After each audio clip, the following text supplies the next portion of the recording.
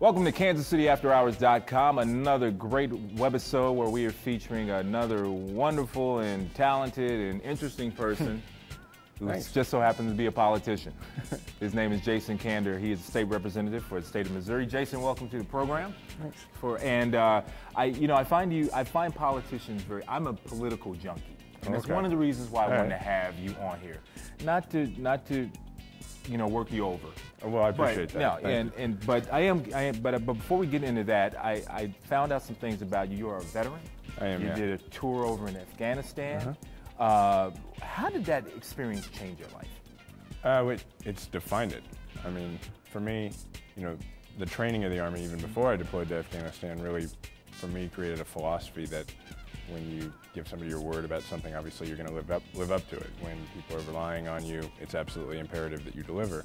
And then actually deploying and, and serving in a combat zone, for me, then going into politics afterwards, it, it made me take those things. What's worse?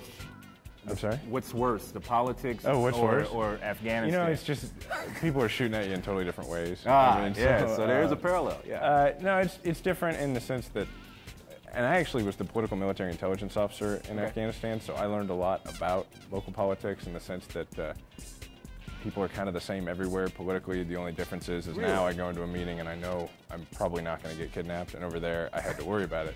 Oh, Other than that, it's you kind of have the same sense as when you're having meetings with political people. You're gauging, you know, how much of what they're telling me is spin, how much of what they're telling me isn't. So it's it was a good experience that way, good training. you're a Democrat, and, and a lot of people, uh, you know, you hear the whole left, right, liberal, Mm-hmm. conservative, everyone on television arguing about this, that, or the other Right. thing. But you served your country, and I think a lot of people think that uh, if you serve your country, that that's a lot of times, well, he must be a Republican. Yeah. Because, You know, because the Republicans or Yeah. people on the right are used to, you know, picking up the military and using that as Uh-huh. their political football.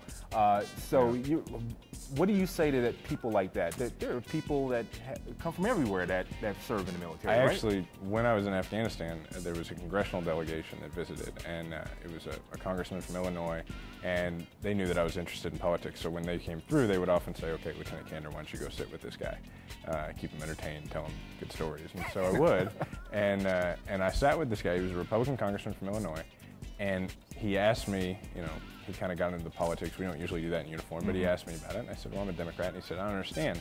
You're in the Army." And I said, um, Congressman, what do you not understand about it? And he said, Well, there's no Democrats in the Army. Why are you a Democrat? And I said, well, I'm a Democrat for the same reason I'm in the Army. I believe that when we've been given quite a bit, quite a bit of good fortune, it's imperative that we make sure other people have the ability to reach their own potential as well. That's why I'm a Democrat. That's why I'm in the Army. And, uh, and then he went ahead and he was a very nice guy. He took down my information, called my mom at home when he got back to the States and said, hey, he's doing well.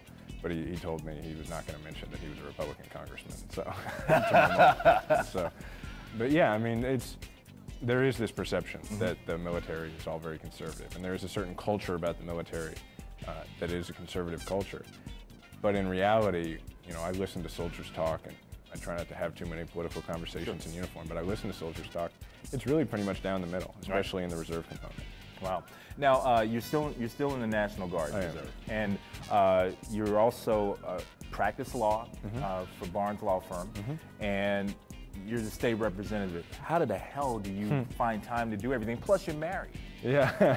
and, and trust me, that's a full-time job in and Well, of itself. honestly, that's how I find time to do everything. My wife and I really work as a team. Uh, she managed my campaign, for instance. Um, she's also an attorney. She's sharp. Yeah, she is. Yeah, she is. sharp. And uh, I mean, so really, the answer to that question is because I'm married, uh, and because neither of us apparently require much sleep. So we get quite a bit done. so Don't require much sleep. So let me ask you this: the winds of change Mm-hmm. are upon us in this country, and uh, there's a lot of stuff going on, especially with the healthcare situation. Mm-hmm. Uh, that train seems to be have left the station. Uh, how are you looking at the next, you know, two, three, four years? Are you optimistic about where our country is headed, or are you, you know, yeah, I don't know. Yeah. I'm very optimistic. There was a period where I was not. I mean, I'm a Democrat. Republicans controlled the country, pretty much every branch of government for several years. So obviously, there was a period where I didn't think things were on the right track.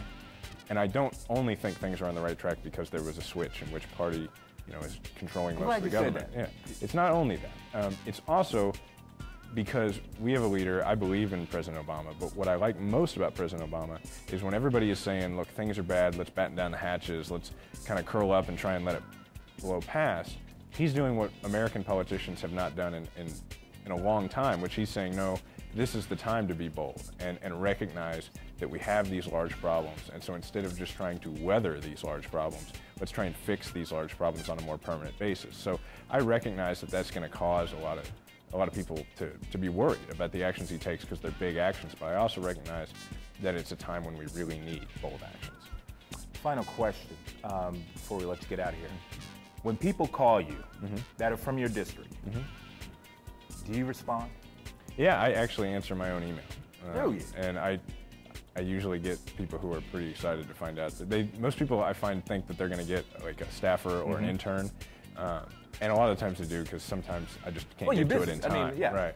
But I do always respond personally. But what I find interesting about that is sometimes when people write to politicians, if they're writing about something they disagree with them about, it seems like since they think an intern is going to intercept the email, uh, they're far more harsh than they would be if they knew that I was going to receive it. And so a lot of the time when I respond, and I, I respond very friendly, I say, well, I appreciate your point of view. Here's why I did this. And, you know, please let me know. Does somebody like call you a douchebag or something in, Uh, in the email? I mean, Not that I remember specifically, but uh, but some of the lines are not real nice. Uh, but what's funny is the second email they'll always send and go, "Oh my God, I'm so sorry. I didn't know you actually read your own email." Wow. And uh, and then they tell me, "Well, I'll probably vote for you, even though we disagree, because at least you responded to me." So. That's good. I mean, because Yeah. you, you touch the people. And I think that's what the American people appreciate. They want somebody that's like, look, I know you're a politician because there is an elitist attitude Mm-hmm. Right. about people in politics. And so whenever you can make that touch point, I think that's that's good for you, no matter Well, what party you represent. I got elected by knocking on everybody in my district's door three times, so and I want to get reelected, so I recognize that I probably better be just as personable now as I was then. Absolutely, absolutely. Well, Jason, it's, it's a pleasure to meet you Yeah, and talk with you. I- absolutely. I, think Thanks hopefully people out there will have you renew their faith I in try. politics because there's some guys out there right Yeah. now that we watch on television right now, Yeah. and it, it's hard to like politicians. I understand. Well, you know. we try very hard to come across well on television, Yeah. but you know. Well, I mean, yeah, yeah. Like, you did a great job. Oh, thanks. Even though this is not really who he is. No, I'm Yeah. just kidding. This I'm is just my kidding. representative. No, absolutely. it's your persona. Hey. Jason Kander. Hey, thanks very much. State Representative, uh, State of Missouri. You're watching Kansas City After Hours.